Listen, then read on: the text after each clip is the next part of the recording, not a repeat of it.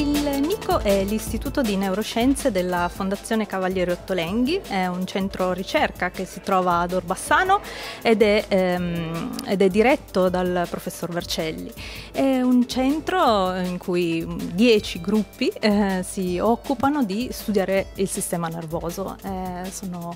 è uno studio che possiamo definire una ricerca di base, nel senso che siamo interessati a comprendere quelli che sono i meccanismi che portano per esempio allo sviluppo del cervello, allo sviluppo del sistema nervoso, a comprendere i meccanismi che sono alla base di alcune patologie che, eh, neurodegenerative che quindi colpiscono il sistema nervoso e per le quali magari non c'è ancora cura.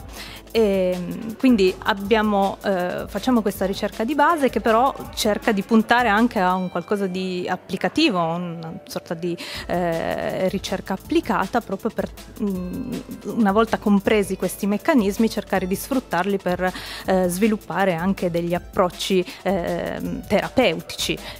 E l'importanza del NICO, eh, una caratteristica del NICO è quello appunto di essere interdisciplinare. Perché questo è importante? Sì, ha ragione, è molto importante. Siamo infatti dieci gruppi e ognuno ha un po' le sue eh, expertise, come si suol dire, quindi ha eh, delle conoscenze più in un certo ambito che nell'altro e, mh, mm, e diciamo, siamo in grado così di complementarci in un certo senso. Eh, l'ambiente stesso ci fa interagire molto eh, e eh, mm, per fortuna siamo anche un istituto con una strumentazione all'avanguardia, quindi eh, la multidisciplinarietà che riusciamo a garantire grazie a queste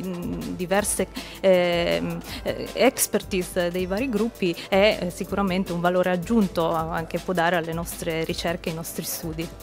E perché è importante appunto oltre a fare ricerca anche provare a spiegarla e a raccontarla e, fate molte iniziative anche proprio di divulgazione in questo senso? Sì, eh, eh,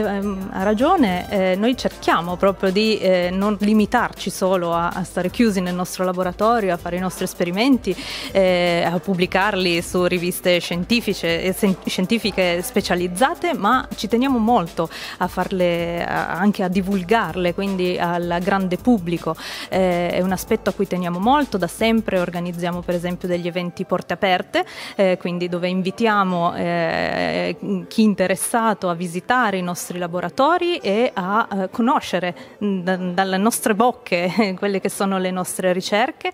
Ehm, inoltre organizziamo anche tutta una serie di eventi eh, nell'ambito di eh, vari eventi, manifestazioni che sono anche di carattere nazionale nazionale piuttosto che eh, internazionale, per esempio ehm, da sempre eh, partecipiamo come, come, NICO e anche come Dipartimento di Neuroscienze che mi riguarda eh, alla settimana del cervello, quindi con una serie di eventi, caffè scientifici no? in cui esperti eh, raccontano un po' del, del, del, della funzione del cervello in determinati ambiti, ogni anno il tema è diverso.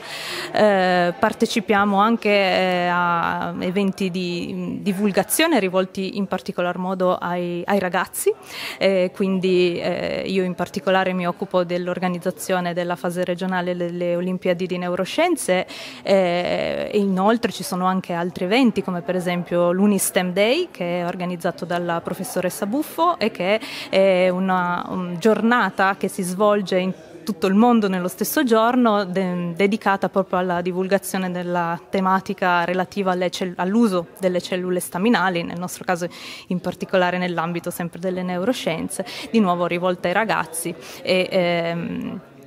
per sensibilizzarli insomma alla, alla tematica.